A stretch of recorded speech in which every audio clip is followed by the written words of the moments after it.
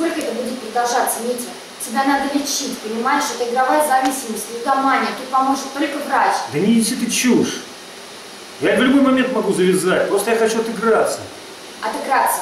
Это неверное слово. Ты снова должен денег, ведь так? Сколько? Это 10 кусков. Можешь одолжить? Одолжить. Ты сегодня забыл русский язык. Одолжить? Как будто собираешься возвращать мне эти деньги. Ладно. В конце концов, ты не должна. Ладно, я пошел, будь как будет. Шантажист.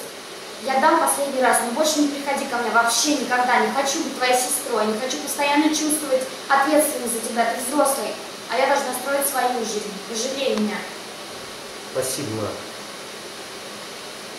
А следующий фильм? Да. А, следующий тоже?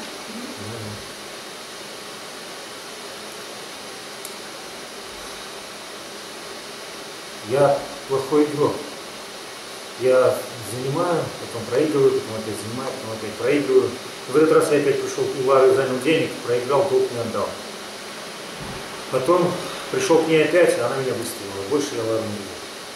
Люди, которым вы задолжали, знали о том, что сестра оплачивает э, ваши проигрыши?